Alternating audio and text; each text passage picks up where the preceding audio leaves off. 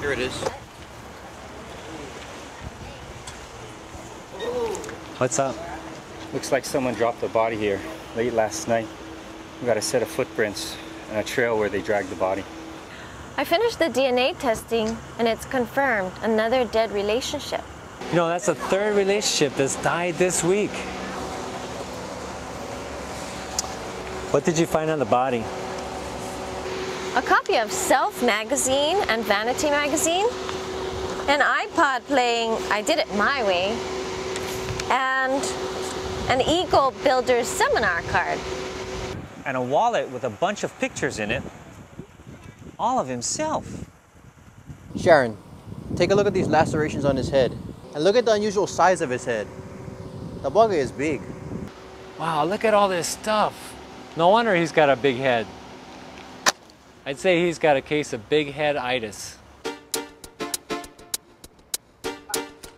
Sharon, can you take this and get it analyzed as quickly as possible?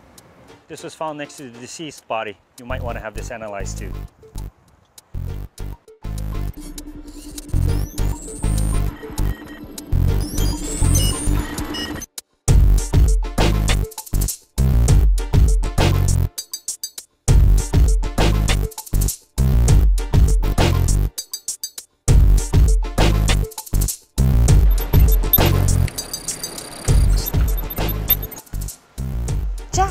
Lead from the fingerprints off the bottle. Well, who is it? It belongs to Mr. Donna of 429 Park Lane. Wait a minute. Did you say Mr. Donna? Yes. Is his first name Primo? Yes, as a matter of fact, it is. Okay, that explains the big head itis. You and Brian bring in Mr. Primo Donna for interrogation, not only for the prints that were found on the bottle, but also for the poison analysis that was taken from the Q-tip results.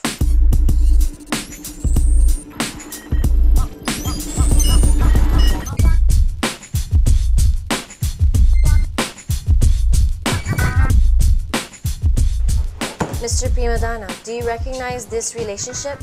Hey, if you've seen one relationship, you've seen them all.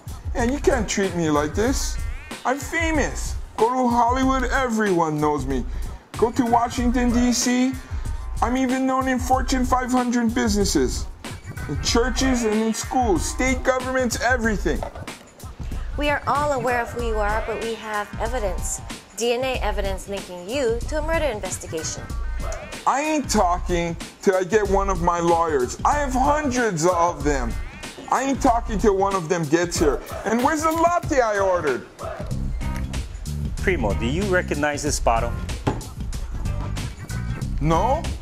This bottle held your fingerprints and also the fingerprints of the deceased, as well as traces of a unique poison that also matched the poison in this dead relationship.